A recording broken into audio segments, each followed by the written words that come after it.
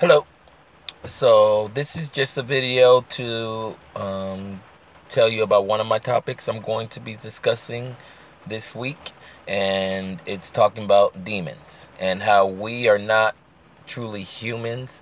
We are demons created by the darkness, the six heavens of chaos in the darkness of the universe. And our soul is from the light, from the heavens of the light of the universe. And what you want to do is wake up your soul to control your demon body. Your demon body is like a wild horse or a wild dog, a wild pit bull who has been allowed to do whatever it wanted because it didn't have a trainer.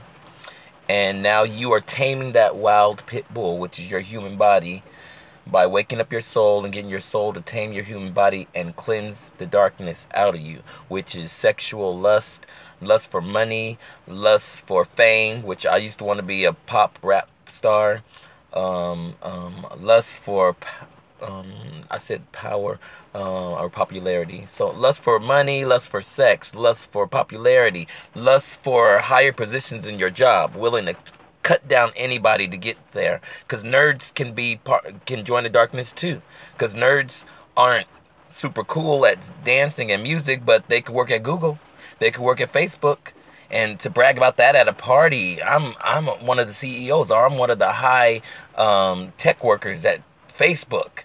So the darkness can grab anybody including in the lgbtq which i was a part of in san francisco the heartbeat of the lgbtq um, so um, I'm going to be sharing that kind of stuff. And you can use the Bible with this information. The Bible was actually amazing. I didn't believe in the Bible until 2016. Um, I used to call it the Slave Master's Book, living in America as a black American. Hebrew. I didn't know I was Hebrew. I was a witch before I found out I was a Hebrew. After I saw demons being a witch, I was like, wait a sec, the, the darkness exists. So there must be a God. I didn't know I was going to find out the black Americans are part of the Bible as the Hebrews who were brought to America to fulfill a slave prophecy. So I'm going to be giving you a lot of information on why we humans are demons, um, why Eve got Adam to eat from that tree of knowledge to help him break his enslavement to the gods of the darkness who Hollywood and um, politicians around the world, leaders around the world, all worship Baphomet from the six heavens of chaos, from the six heavens of the darkness.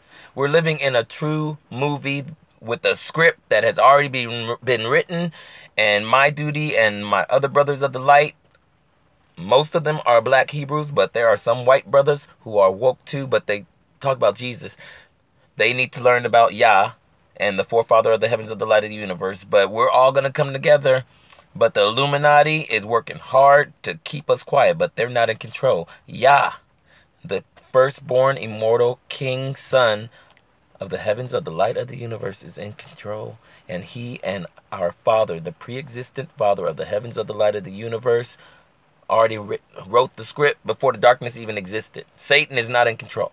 So, it's time to learn about the light, people.